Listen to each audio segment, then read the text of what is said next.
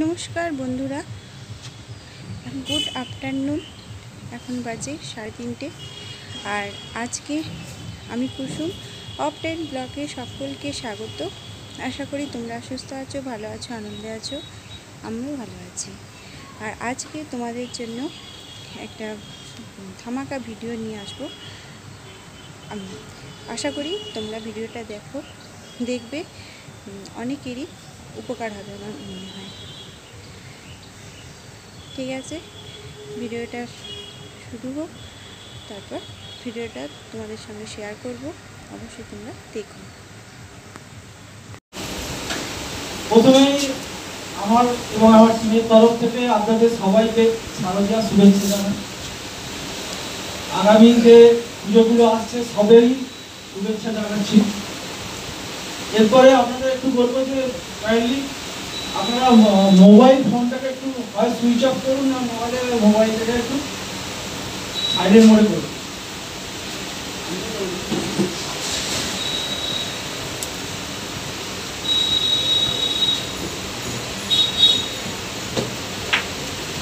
দেখুন বিজনেস সম্বন্ধে অনেক আলোচনা, কিছুটা আলোচনা আপনারা শুনেছেন, তাই তো? একটু বোর ফিল করছেন কি? আচ্ছা আমি একটা গল্প বলি আপনাকে গল্পটা অবশ্যই কিছু মানে আছে। এমনি গল্প না। গল্পটা আপনারা শুনুন আপনারা সবাই গল্প শুনতে ভালোবাসেন তো?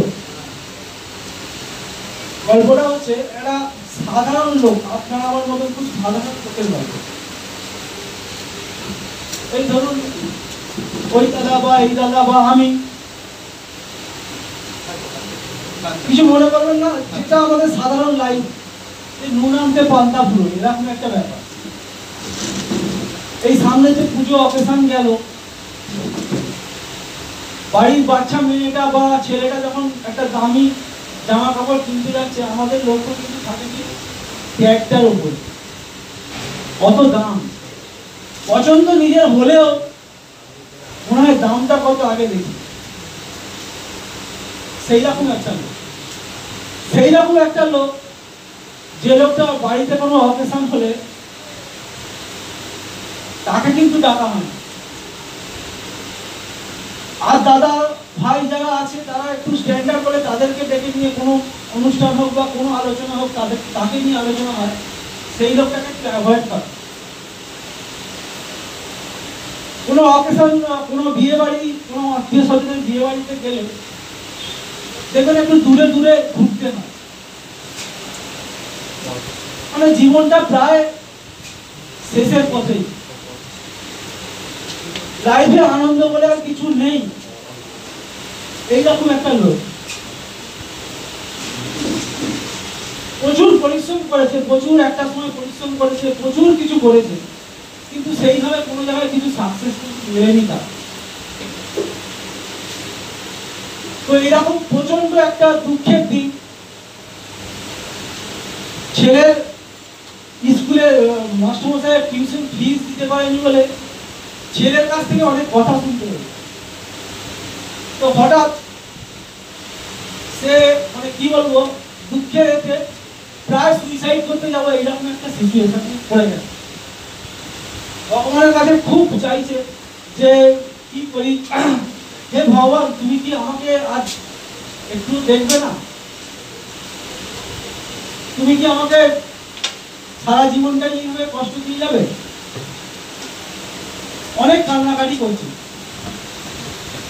কান্নাকাটি করার পরে হঠাৎ ভগবানের কি দয়া হয়েছে, ভগবান হঠাৎ তার কাছে দেখা নিয়ে দেখা দিয়ে বলছে আচ্ছা তুই কি মনে করিস? তুই কি মনে করিস যে তোকে যে আমি পাঠিয়েছি, তোর জীবনের কোনো মূল্য নেই? সেটাই তো ভগবান বুঝতে পারছে, আমার জীবনের তো কোনো মূল্য নেই। বলছে আচ্ছা ঠিক আছে, তুই একটা কাজ কর। তোকে আমি একটা মূল্যবান একটা পাথর দিচ্ছি। এই পাথরটা তুই নিবি, নিয়ে এই পাথরটার দাম দিক ঠিক করে আসবি মানে দামটা জানবি লোকের কাছ থেকে, বিভিন্ন লোকের কাছ থেকে দামটা তুই জানবি। কিন্তু খবরদার একটা কথা, কিন্তু তুই ওই পাথরটা কাউকে বিক্রি করতে পারবি। এবং আর একটা কথা, কার কাছ থেকে পেয়েছি সেটাও বলতে পারি না। বলছি আমার বাড়িতে ছিল, আমি পেয়েছি।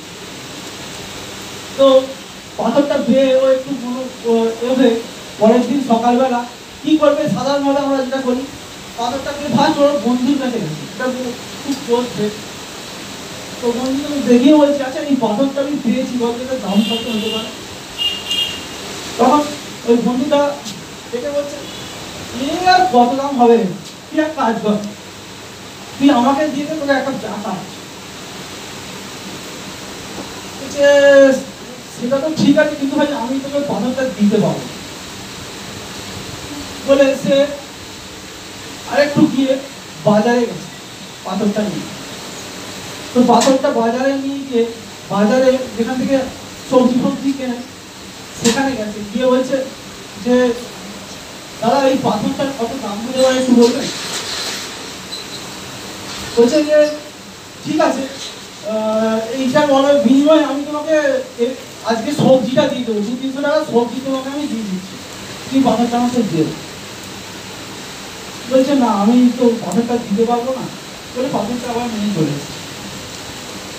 পরের দিন একটা ফলওয়ালার কাছে গিয়ে বলছে আচ্ছা পাথরটার কত দাম হতে পারে? বলতে পারবে বলছে ফল আমি তোমাকে পাঁচ কেজি ফল দিয়ে দিচ্ছি, আম দিয়ে দিচ্ছি, তুমি আমাকে দিয়ে বলছে, ও আচ্ছা পাঁচ কেজি দাম এই এই পাথরটা কিন্তু তখন বিক্রি তো করতে পারবে না পাথরটা নিয়ে চলে তখন ভগবানের কাছে গেছে, ভগবানকে ডেকেছে ভগবান, এই দাম বলছি। কিন্তু তুই আবার যা। তুই আরও ভালো লোকের কাছে যা। বলতে ও পাথরটা নিয়ে একটা সোনাওয়ালার কাছে সোনার দোকানদার দেখে বলছে পাথরটা দেখে তো মনে হচ্ছে ভালো, তবে তুমি এক কাজ করো, তুমি পাথরটা আমাকে দিয়ে যাও। তোমাকে আমি এক ভরি সোনা দিয়েছি বলছে ঠিক আছে, আপনি ওটা পাথরটা আমাকে দিন, আমি পরে আপনাকে দেবো আবার ভগবানের কাছে গেছে ভগবান পাথরটার মূল্য সব থেকে এক ভরি সোনা হয়েছে বলছে, না, তুই আরও যা। বলছে, সে কলকাতার দিকে একটা ডায়মন্ডের শোরুমে যেতে ডায়মন্ডের শোরুমে যখন সে দেখাচ্ছে তখন যে মালিক দোকানের যে মালিক, সে বলছে, এই তুই কোথেকে দেবে। বলছে, আমার বাড়িতে ছিল, আমি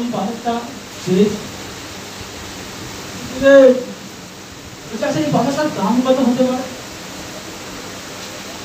বলছে, ভাই, তোমাকে কি বলব?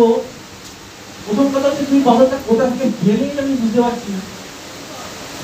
আমার বাড়িতে, আমার দোকানে যা ডায়মন্ড আছে, এবং এই অঞ্চলে যা ডায়মন্ড আছে, সেই ডায়মন্ড বিক্রি করলেও এই পাথরটার মূল্য হবে না। এই পাথরটা এতটাই মূল্যবান। তো আমি মানে এটা স্যার এটাই বোঝাতে চাইছি আপনাদের আপনারা প্রত্যেকে, কেউ কারও মূল্য আমরা বুঝি না।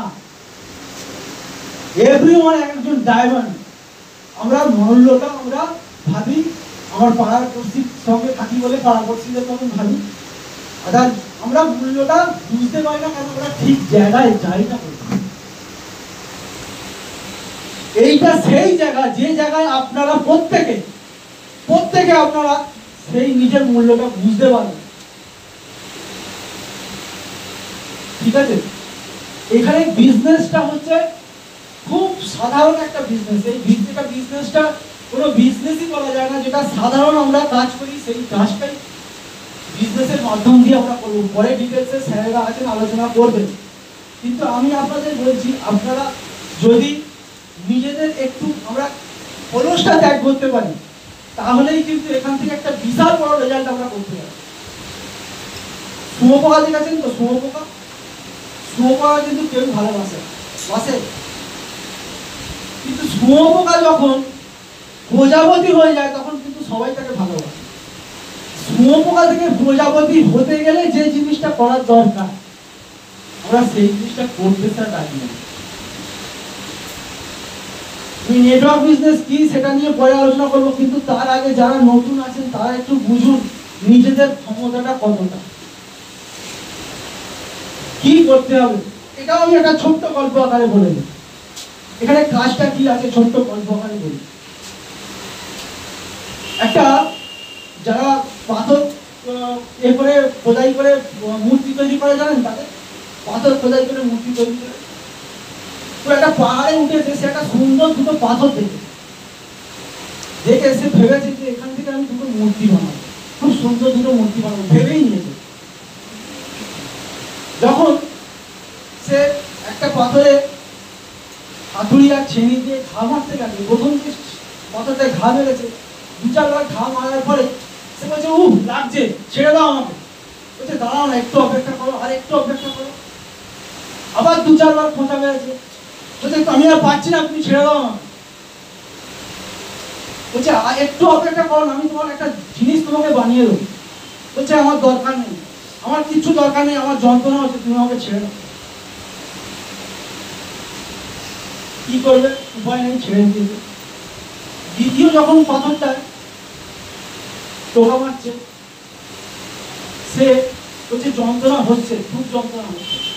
কিন্তু তুমি করো, আমি যন্ত্রণা সহ্য করতে রাজি আছি। যন্ত্রণা হচ্ছে, তবু তার যে মূর্তি তৈরি করে তাকে বলছে, তুমি মেরে যাও যত ইচ্ছা মেরে যাও, যত ইচ্ছা করে যাও, আমি রাজি আছি।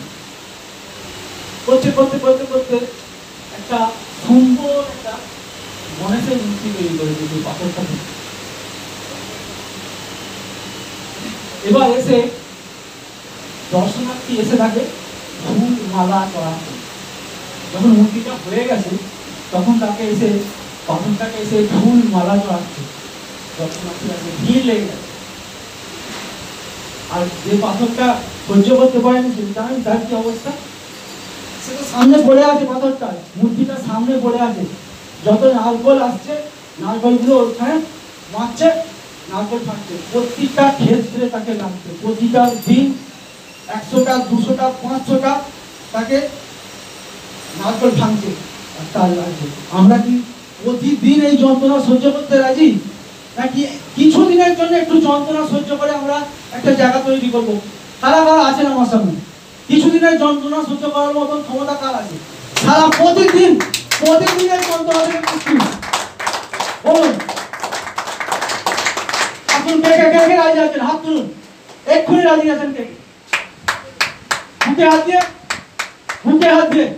এবার বলুন, যে চোখ বুঝুন, চোখ বুঝে বলুন যে আমি, আমার ফ্যামিলির অর্থনৈতিক অবস্থা চেঞ্জ করার একমাত্র লোক। আমার ওপরে সমস্ত ফ্যামিলির দায়িত্ব রয়েছে এবং এই দায়িত্ব আমি খুব ভালোভাবে পূর্ণ করব। এটা বাড়িতেও প্র্যাকটিস করব। ঠিক আছে? এবার আসছি যে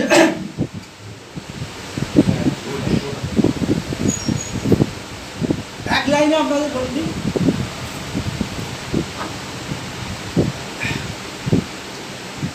অনেকে কি চেন বিজনেস অমুক বিজনেস অমুক বিজনেস যেটা বলছিল। বলুক বিজনেস বলুক, বলবেন হ্যাঁ চেনই করি আমরা। যখন বন্যায় কেউ ভেসে যায়, তখন চেনই আটকায়। তখন আমরা তো বন্যায় ভেসে যাচ্ছি। চেন ছাড়া আমাদের গতি নেই। আমরা চেনের দিয়েই আমরা একে অপরকে ধরে রাখব। তবেই আমরা বাঁচবো ঠিক আছে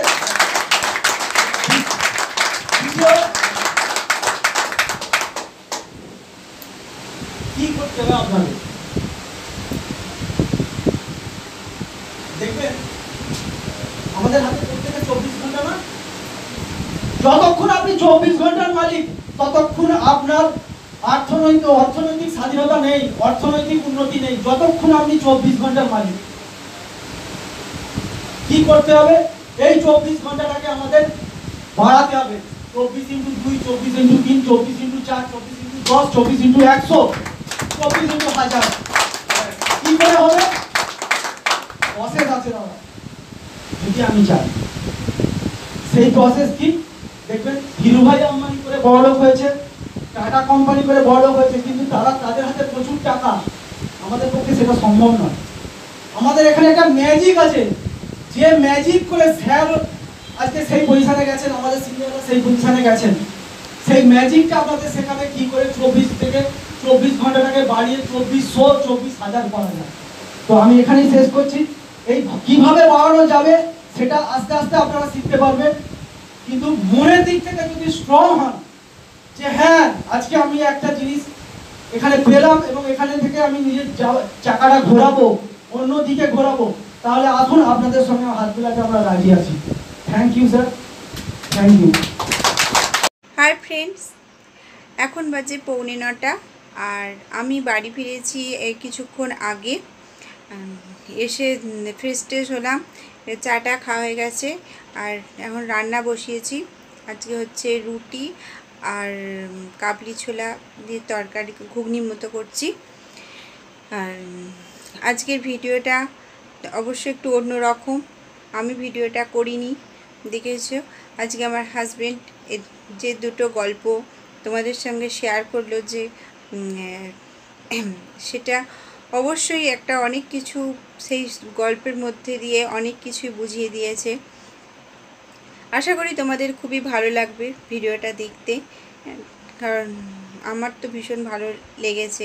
তাই ভাবলাম যে একই রকম ভিডিও বারবার দিই, একটু অন্য রকম দিয়ে দেখি। আশা করি তোমাদের ভালো লাগবে।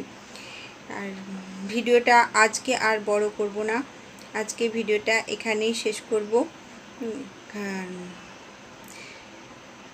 তাহলে ভিডিওটা দেখো সুস্থ থেকো ভালো থেকো আনন্দ থেকো। Good night tata bye bye.